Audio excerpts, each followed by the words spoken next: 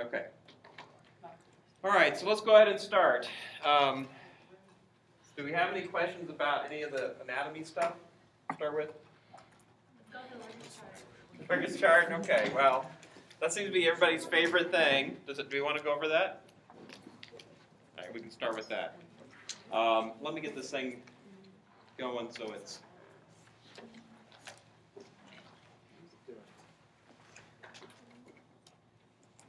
So I can blank this out. All right, we'll just go through. We'll get to the point where we have the Wiggers chart, and then we'll we'll go through it. But as we're going through this, if you see something, take note. We will come back to it. If you don't have something your notes or you don't understand something, we come back to it. We'll probably come back and talk a little bit about the conducting pathway because that can get a little confusing. And remember, we talked a little bit about um, the currents before we talked about the Wiggers chart as well. Okay, so that's the sort of stuff. So we can come back and talk about that. But we'll do the Wiggers chart first. All right, so there we go. All right. So the Wiggers chart shows us pressure in the, well, which, which three things? Aorta, atrium, and ventricles, right? And the reason these are important is because we have valves between these structures, and so the Wiggers chart is going to look at pressures in those three areas, and that should tell us something about whether valves are opened or closed. So I'm going to do the chart. We'll use, um, let's see, we'll start off with atrium in blue.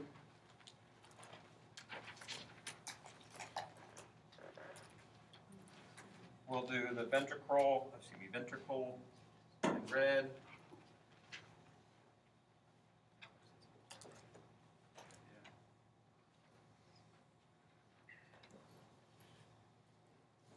And we will do the aorta in black.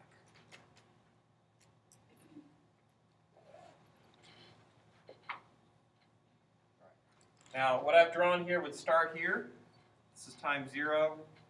Remember, it's something like 0.8 seconds.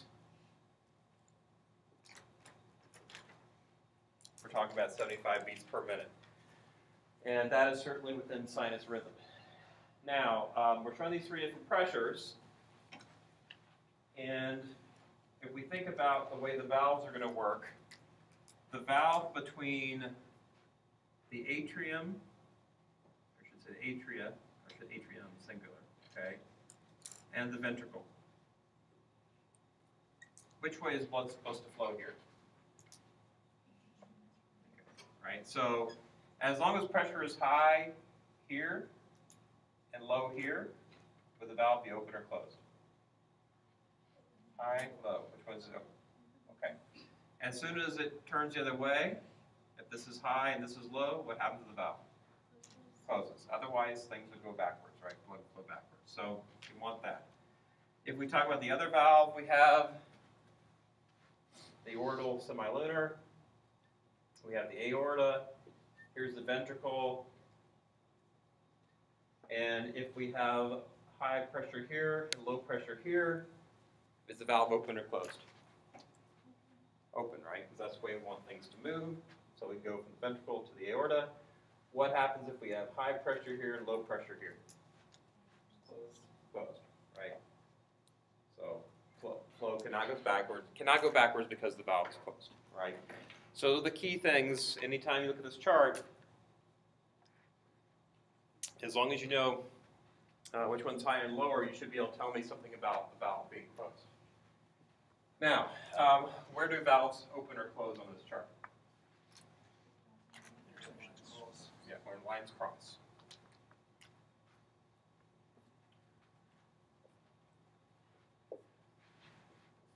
So one thing you should be able to tell me, for example, at this point, is the mitral valve opened or closed?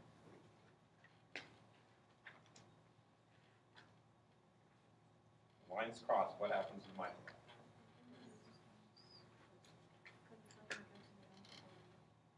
Well, it's, if, if it,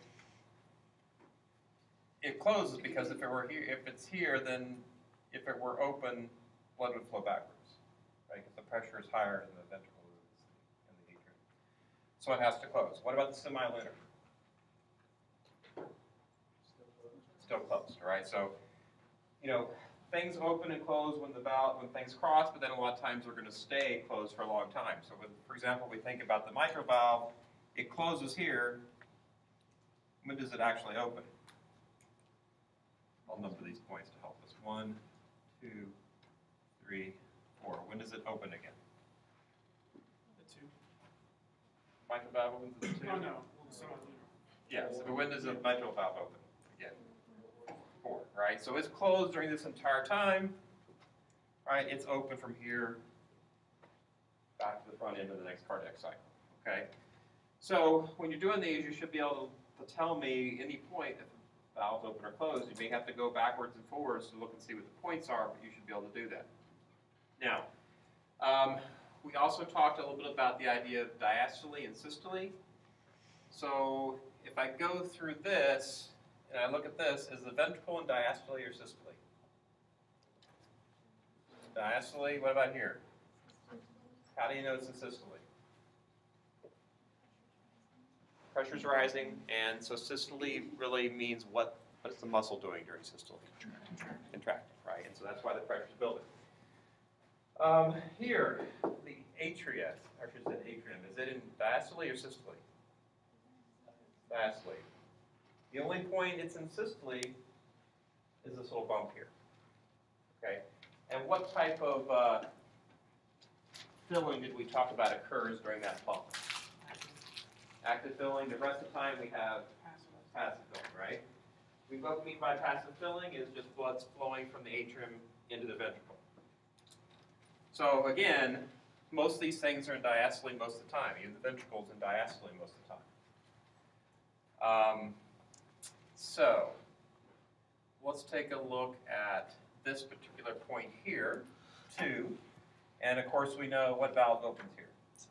The Semilunar opens, okay? That means from here to here, valves are closed. From one to two, both valves are closed. And the same thing is true from three to four.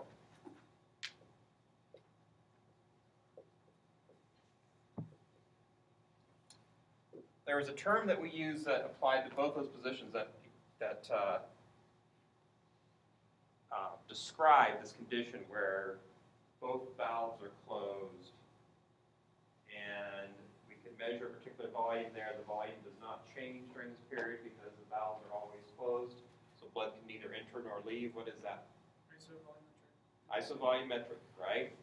So we talked about isovolumetric contraction and mistakes, okay? Because what's going on here is pressure is building, even though the volume's not changing. Pressure is decreasing even though it's not changing, okay? Um, so there we go. So we can walk through. We have essentially, you know, pressure builds in the atrium, blood's flowing into the ventricle actively. The pressure builds up enough that the mitral valve closes. The ventricle is starting to contract, so we have this isovolumetric contraction. At two, the semilunar opens up because the pressure in the ventricle is finally greater than the pressure in the aorta. And then from two to four, or I should say two to three, we have what? Ejection phase, Ejection phase, or ventricular ejection, right? And so during that entire time, blood is leaving. Until we get to the point where the pressure has fallen enough that pressure is higher in the aorta than it is in the ventricle, and if the valve did not close, blood would flow backwards. So that's why we have semilunar closing. All right, um, let's see.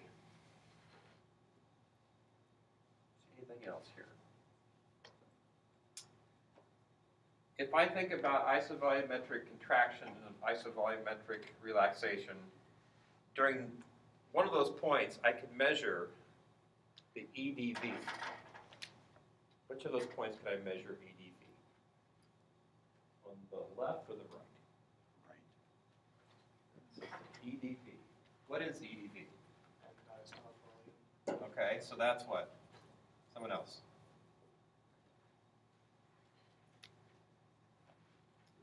Volume of blood after diastole. Okay, so is this the is this the way I can measure the volume of blood after diastole here?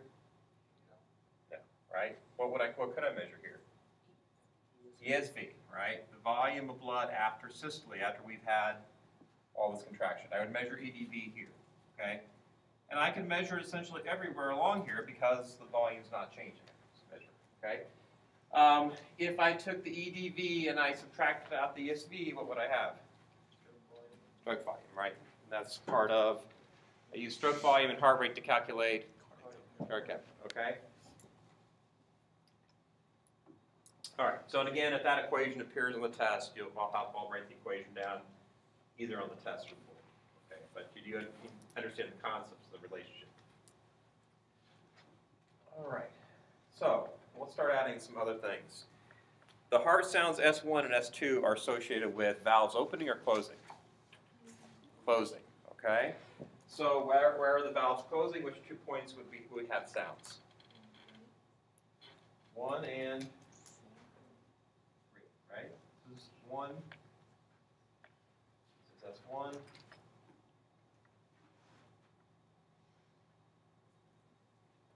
is S2. All right. Um, let's go to talking about this guy.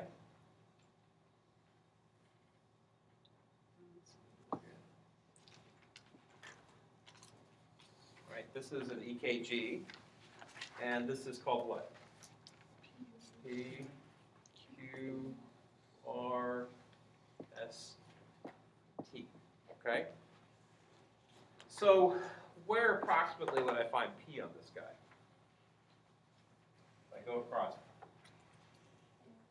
Right, this would be P. Why? Because P is associated with what?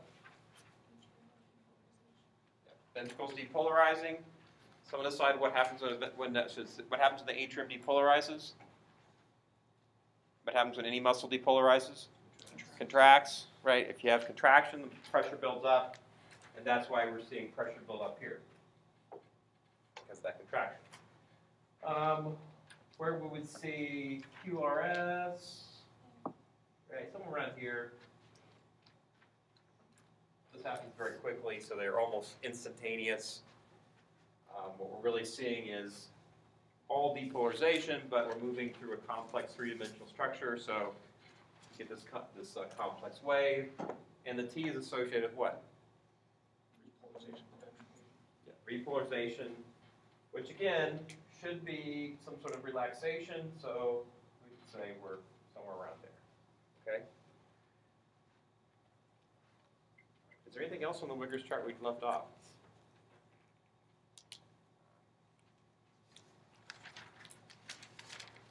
I think, you know, it's, it's, uh, it looks really daunting when you first started, but everything is kind of related to each other, right? Uh, So it's one of those things that um, I think if you, if you can go through a few times, I suggested somebody, if you look online, I now have one that's, um, I should have posted earlier, but I forgot about it. There's one that's a fresh copy, and know, print it out two or three times, and then just go through one aspect of it, and maybe another sheet do another aspect of it, right? And then by the end, you should be able to put them all together because they're all highly related. Is there anything I left off on the Wiggers chart that you guys have questions about? All right. So let's go back and talk a little bit about the conducting pathway because that's what underlies the PQRS, right? In order to get to this to happen, we have to have a conducting pathway. And so we're talking about the conducting pathway, where does, well, we talk about sinus rhythm. And when we talk about sinus rhythm, what conditions do we have to have?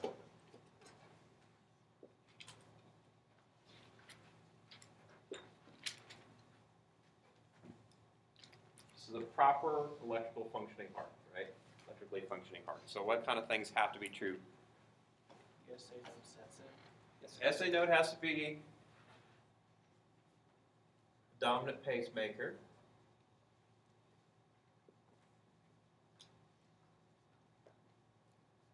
What about the speed of the heart, of the heart rate at rest? 60 to 100.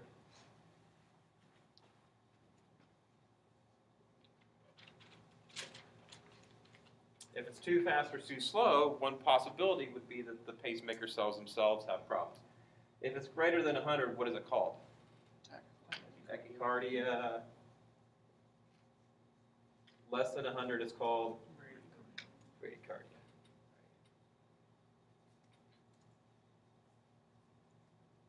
Which one of these is always going to be a problem? Right? Bradycardia could just be the sign that someone has a very efficient heart. Um, so again, we talked about if they come in and they look like they just ran, you know completed an Ironman and they have bradycardia at rest, that's probably not a problem. But you know, if your 80-year-old aunt has bradycardia, that's probably going to be a different matter. Okay. Uh, what's the final thing? This conduction pathway. So the SA node can't just be only setting the pace; it has to follow a particular pattern.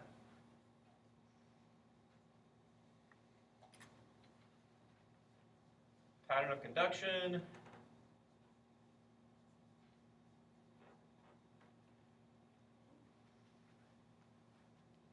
contraction. Right, and we'll go over that proper pattern.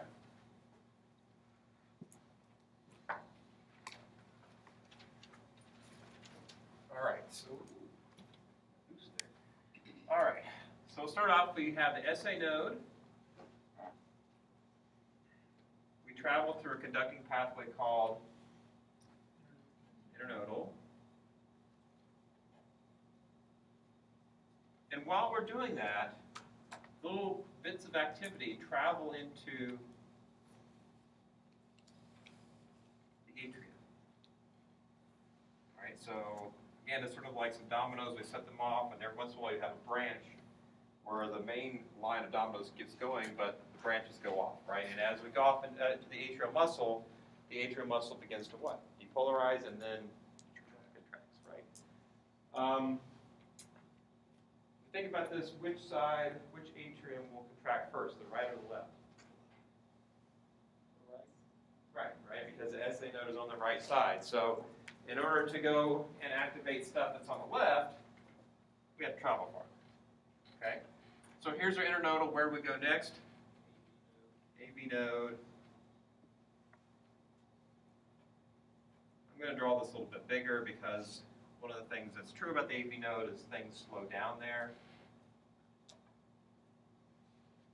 So there's a little bit of a, a pause because we're traveling the AV node slowly. Sort of like going on the highway and all of a sudden you come to a big city and you have to slowly drive across it. You get to the other side, you can start speeding up again. And the speed up occurs in what? Bundle of His, which we also call the interventricular. It divides into a right, into a left, and then into these fibers. What are the fibers called? Purkinje fibers. Okay, and then at the end the Purkinje fibers, we're in muscle.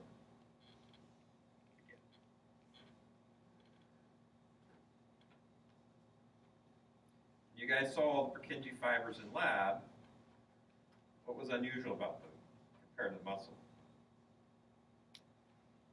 Well, maybe What's unusual about the Purkinje fibers? They were not really striated. You didn't see the red act- actin myosin in there. You didn't see the striations. So they're they're big and pale. Uh, what is their? Why is their size important? Yeah, they're just like kind of acting like a big axon, right? And bigger bigger things carry an action potential more quickly, right? So Cal and Amanda have right. So um, that's they travel things travel really quickly through those Purkinje fibers. So you know, really once we get to the AV node, both ventricles are going to be contracting almost simultaneously with each other. Again, the right is contracting slightly before the left, right? but not not a huge difference. All right, so that's the conducting pathway. Now, when we're talking about this picture, if the SA node is destroyed, what happens to the pace? Slows down, and what would be the pacemaker that case? AV node, and if it's destroyed, Purkinje's set the pace very, very slowly, but you know, probably too slow to be effective for the heart. Okay, so this is the proper conducting pathway. Right, anytime this would be disrupted, for example, if we had the SA node is not firing the AV node is taking over, That's not a sinus rhythm. There are people that have, coming out of the AV node, a a pathway that goes back into the atrium and actually causes the atrium to fire again. So that the atrium is kind of having a double firing every time the heart beats. That's not a sinus rhythm, because that's an extra pathway that should not exist, and that ends up causing problems.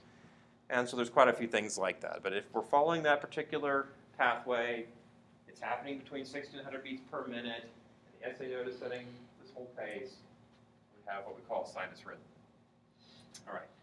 Um, let's talk about the two different types of action potentials I've observed in this system. And the two different types of action potentials would be observed in these guys, which have pacemaker action potentials and currents, and essentially all the muscle, which I would include over here, which contract a lot like a cardiac, I should say, or a, a different action potential. It's different than skeletal muscle. We'll talk, we'll talk about some differences it has. It's going to look different, okay? So we'll put these two guys on the board, and then we'll kind of go through some of the electrophysiology. So I think everybody's kind of wigger, wigger charted out, and so probably uh, might forget to study about this, right? Because this is still important, so. Don't wig out.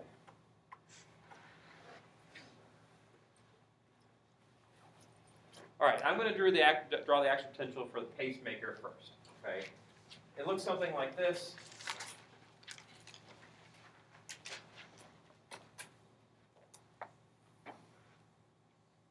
And try to draw these right? So this is something that, you know, would be the pacemaker.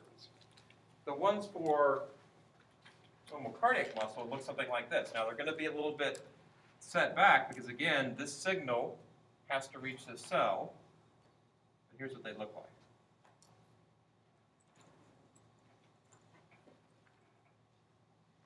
And so okay? So this one's need to be broadened out a little bit. All right. So those are, you know, two different types of things. So which one is a pacemaker? The one's on top in blue. I think I said that, so I can't really.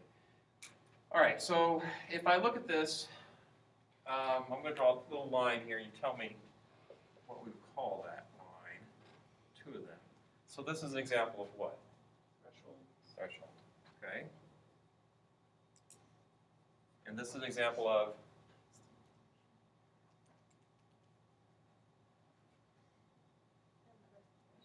It's another threshold. Okay, so this is unusual. It has two distinct thresholds. One in which the cell is becoming positive enough.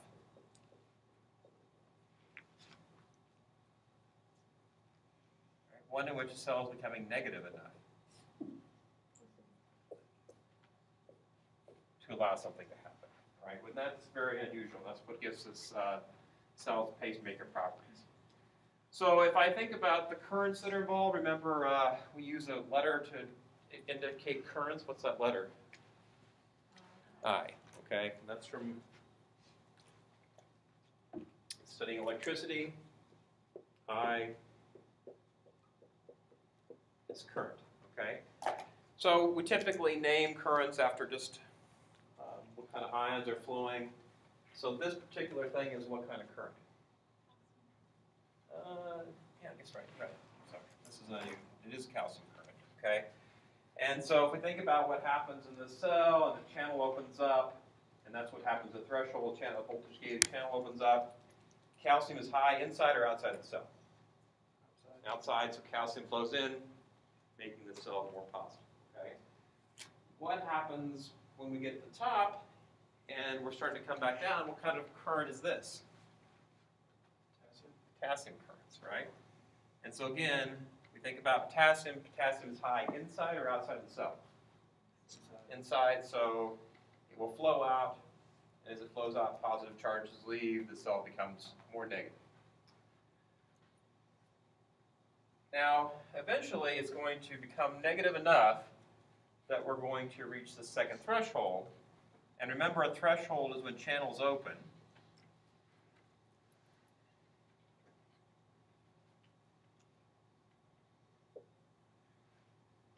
And what sort of current, what current flows through this channel?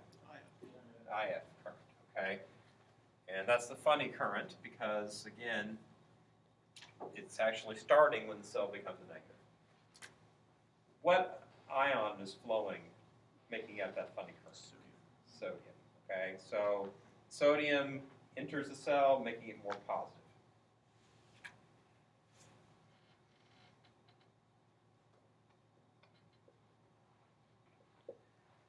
If I look at these two currents, right, or this current, this current, this current, what's the size of this current relative to these other two?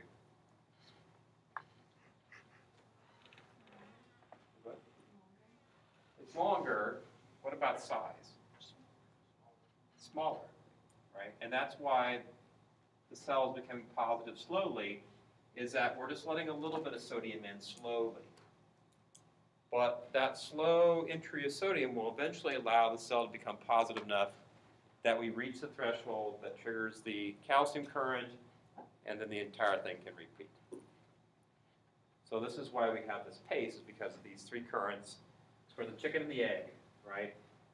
This guy is eventually reached because we reach this guy, and this guy is reached because we reach this guy, right? They're mutually allowing the other one to be uh, met at a certain rate. Let's say this guy is beating at 100 beats per minute, which is its normal rate. This, this is the SA node. How do I get it to slow down? How do I get it to speed up? What do I do to get it to slow down? Acetylcholine, right? What do I get to speed up? Norepinephrine. And that's the normal thing we do to speed it up. What's the other thing we could do? Epinephrine. Okay.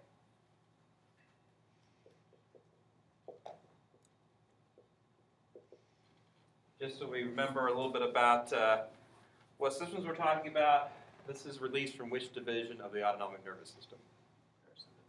Parasympathetic, Parasympathetic. and so we call that release that's slowing down the heart all the time, what? Vagal tone.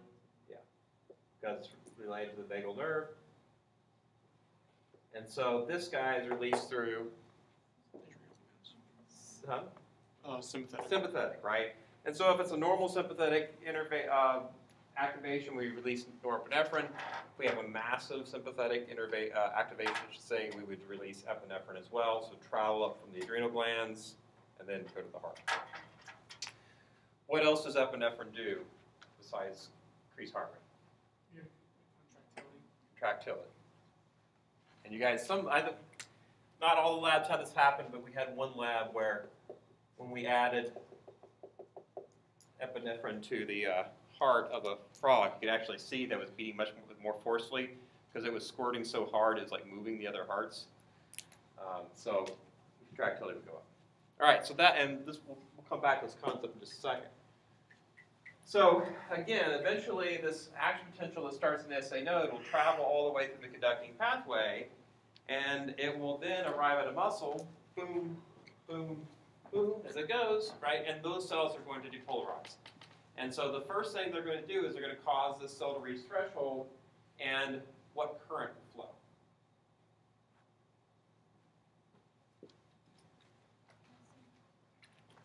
Uh, it's a good guess, but it's not quite calcium. We're talking about reaching this threshold. Uh, not IF, that's only pacemakers. A simple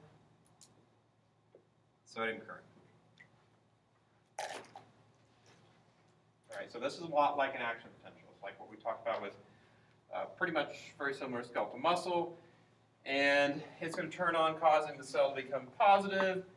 Around the same time, another channel is going to open up that's going to give us this flat, broad. Thing. That's a calcium. Right, so this is an ICA current. And again, this is voltage gated, so it was opened up by threshold. What's unusual about this is it's extremely long lasting.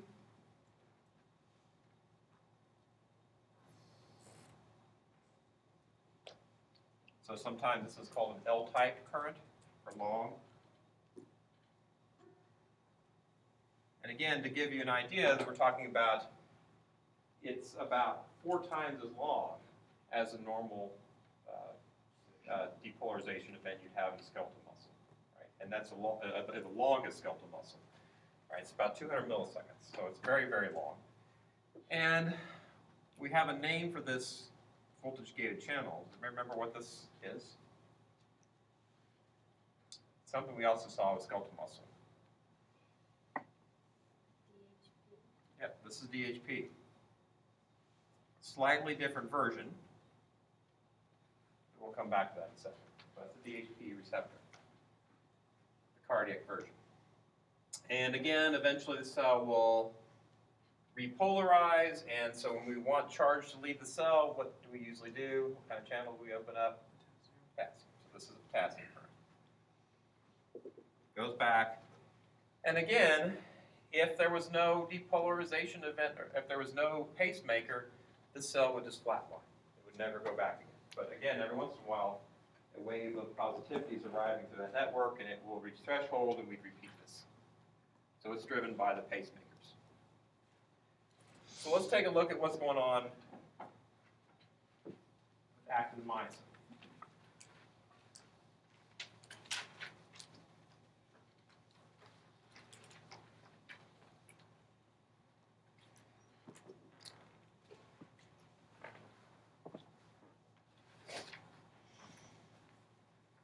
All right, the key for understanding what's going on in cardiac muscle versus skeletal muscle is understanding that the DHP receptor and the ryanodine receptor that we talked about last semester are still here, but they're no longer physically connected to each other. And so that means that whole mechanism of one blocking the other is out. right? So we have to have a different mechanism for things to happen.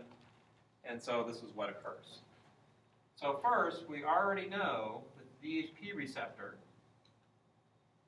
is being activated by voltage.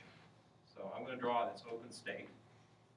And again, it's activated because the cell has become positive, right, because of the sodium coming in. And when it becomes positive, calcium will enter the cell. It's acting as a true channel. Now, we talked about last semester that calcium is necessary for muscle contraction. And if- just for a brief review, you won't have to know this for the test, but you know, essentially what will happen is uh, troponin will uh, bind calcium, tropomyosin would move,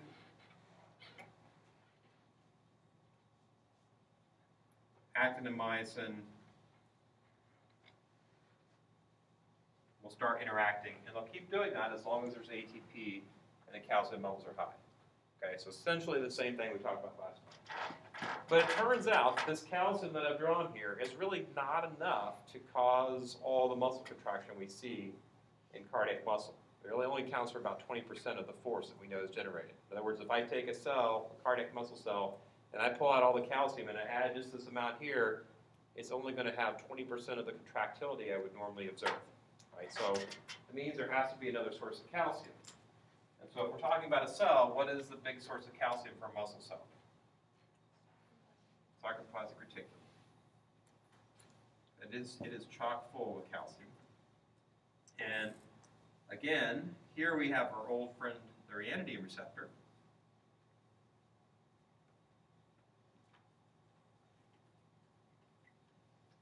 And instead of the ryanodine receptor being mechanically activated whenever the DHP receptor is activated, it's going to be activated by the calcium that's coming in to the DHP receptor.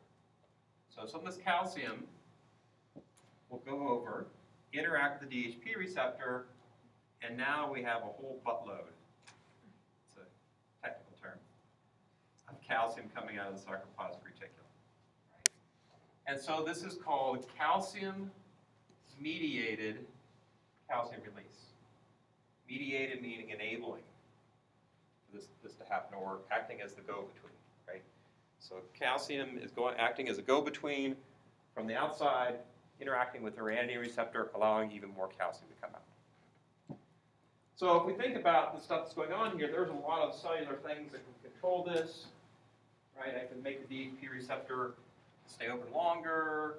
I can make this guy stay open longer, right? A lot of different drugs affect these processes and we're leading things off, obviously. And so I could increase the amount of calcium that's in the cell or I could decrease the amount of calcium in the cell.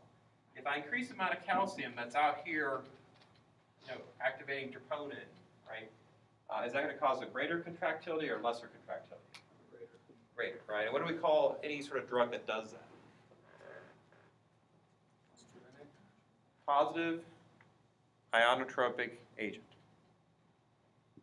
Right, so it could be, and it's just a general thing to describe drugs. So there's a lot of these drugs we don't necessarily know how they work, we just know they are increasing calcium levels. If we decrease calcium levels, we decrease contractility, right? That's a negative inotropic agent, right? And the heart would beat with less force. The natural inotropic agent that we looked at in lab was epinephrine, right? Okay, so that's how muscle contraction happens. There's one more thing that you that we well, there's probably more than one thing, but there's one thing that probably kind of slips people's mind a little bit. And That is the uh, Frank Starling law. What's the word after tropomyosin? Actinomycin, oh, tropomyosin moves. actin myosin then move. Frank Starling law. What did Frank and Starling discover? What's a, what's a brief way you can explain this law?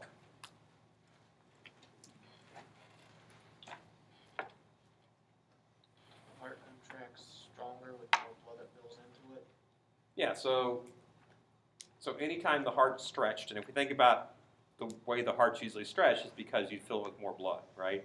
But you can even do this from the outside. Like you can take a uh, you can take a little string and tie it to the heart and put it start stretching it, put a mechanical stretch on it, and it will start contracting with more force. So again, we don't actually know why this works, but we just know it does, right? So if we have everything else being equal, the contractility does not change, all of a sudden we start stretching the heart, the heart will start contracting with more force. And so if it contracts with more force, for example, the end systolic volume would start going down because we've got rid of the blood, right? Now, you know, we used to say that we had 50 mils of blood left over at the end of systole, you might have 30 mils of blood left over in systole. So if that happens, what happens to your stroke volume? It goes up because you know you, you've got rid of more. So you got to think of the relationship. So when you do this on the test, you might want to think about okay. All right. So um, so then we talked a little bit about the efficiency of the heart, and we talked about there's different things you could do. For example, you could. Um, so it turns out we talked about the respiratory pump. If I start doing jumping jacks, I force more blood back to my heart. Okay, and that's going to stretch out the heart. So the heart would actually contract harder and stroke volume will go up. What do we call that factor where I'm actually putting more blood back into the heart? Venous return. It is venous return, but there's a technical term we use when we talk about the efficiency of the heart. Concept term. Preload. We preloaded the blood with more heart. Uh, with more, we preloaded the heart with more blood. All right. Uh, if I lost a lot of blood, right, what's going to happen to my preload? It decrease, right? And again, that's why when you see a movie where somebody's heart rate starts spiking. Well, what they're trying to do is they're trying to increase the cardiac output by having the heartbeat, and sometimes it's an indication there's internal bleeding. Blood's not going back to the heart. So they may not see it from the outside, but blood's in your abdominal cavity, not going back to the heart. You have to do something. All right. Um, the other thing that we talk about is what happens if the heart has to work against a higher pressure. So if I have a high pressure in the aorta out into the entire system, what happens to the amount of blood that's ejected then? It's going to go down, right? Because again, we think about what happens if the aortal pressure is higher, that semilunar valve is going to close more quickly because it's going to be uh, easier for the aortic pressure to be higher than the ventricular pressure. And so we call that concept that the valves are going to close more quickly, the blood's going to expel less heart, uh, less blood. Um, under those conditions, what is what's the concept term for that? After. Okay. So again, those are things we talked about the efficiency. How about the idea of, so, let's see. You guys understand the idea of cardiac output rest, cardiac output max, and cardiac reserve? Cardiac output reserve. What is cardiac output again?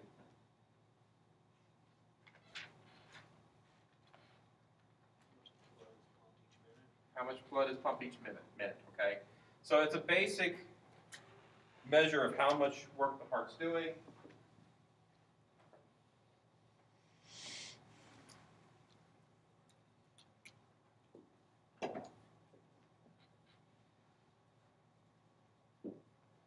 And so how would I find cardiac output? EDV minus ESV. Well, that's gonna tell me one part of it. Which part does that tell me about? Stroke volume, that's gonna get me my, um, mils. How do I find out, how do I get the time value here? I can take heart rate, okay? So heart rate times stroke volume is gonna give me my cardiac output. Give me a way you'd measure the cardiac output at rest.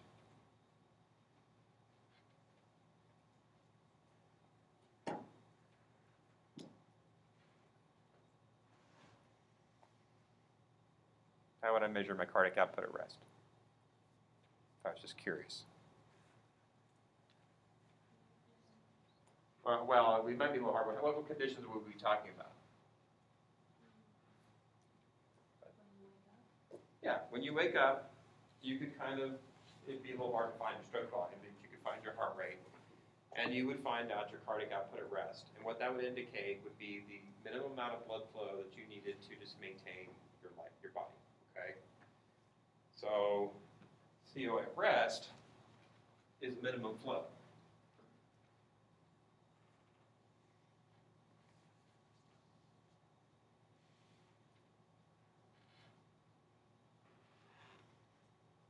Right, uh, my cardiac output max would be the most flow I could have. So if I figured out my highest heart rate I could have, and I figured out my highest stroke volume, I could figure out my cardiac output at max. Um, and so we talked a little bit about that stroke volume is also influenced by heart rate as well, right? Or I should say the preload is influenced by heart by heart rate. Let's go over that just real quick, and we'll come back to this. So if heart rate goes up and it's very high, what happens to preload? Simply not enough time for the stuff to fill up. So if heart rate goes down, preload goes up, right? There's more time for blood to come back. So, you know, these things are a little bit related, but we could find some point at which I could generate the most blood flow through my body, okay? Well, between those two, I have my reserve. So that's the amount of stuff I can use to do work. Now, we talked a little bit about, you know, your cardiac output max could go up, your, you could train yourself your heart rate could go a little higher, your stroke volume is typically what would get more efficient. Cardiac output at rest, you know, let's say you're uh, running a triathlon and then you get in a wreck and you lose an arm, what happens to your cardiac output at rest? It go down because you don't have to take, take any blood to the arm, right? So now, you have more reserve. Going to suggest people do that as a way to increase of time, because the swimming's going to get a little harder. But uh, you get the idea, right? Uh, that really, if you can generate all this flow, that means all this oxygen delivery, um, and you don't need as much, you know, and you're and you're efficient when you're at rest. Well, then you can use all that to do something, right? Okay. Let's see. Let's go back to the slide and see if we missed anything.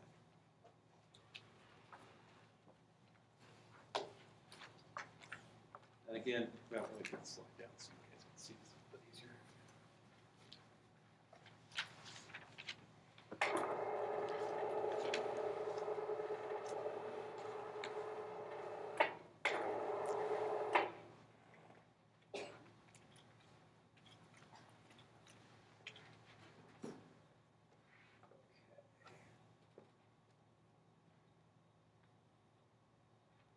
So far. This, auscultatory points, what do we use these for? Your heart sounds, valves opening, closing. Yeah, hard sounds in more than just, you know, S1 and S2, because you can hear those basically anywhere, right? But here specifically, we had sound points where we could hear particular vowels, right? Um, and then you guys go that. Murmurs. Uh, what's uh, happens when we have a regurgitant valve? Close back. backwards flow. So a murmur is any abnormal heart sound, right? And we talk about two different ones here. The, the regurgitant one, which is also called an incompetent valve, blood's flowing backward. What about a stenosis? Yeah, it's narrowing, so it means that, for example, if we have a stenosis in the mitral valve, when the atria contracts and active filling and pushes stuff through, you can hear a scraping sound uh, because blood's trying to go through this narrow passageway. We've got that. Um, I wouldn't worry too much about the interval stuff. That's not really, we didn't go into that too much. I probably should have taken that out, but. You guys are pretty comfortable with the two different circulations? Hopefully, okay.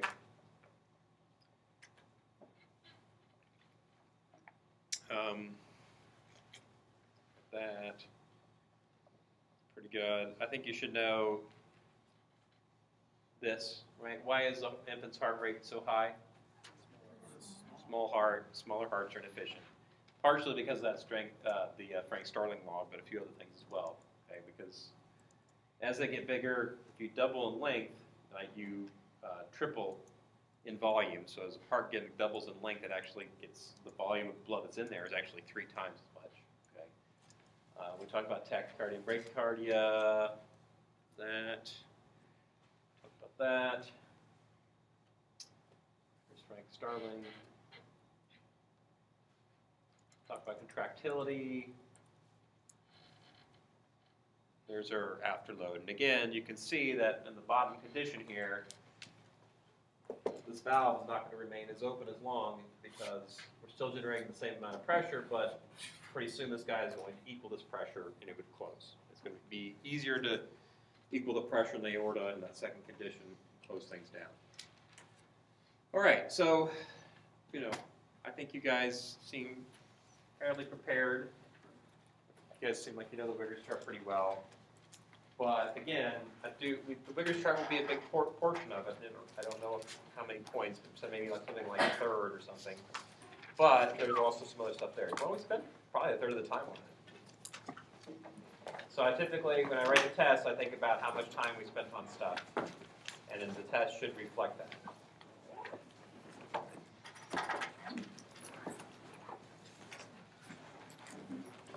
So if you get stuck somewhere, if you have questions, we still have till Wednesday. So email me, or we can have make appointments, or you can come by and see me.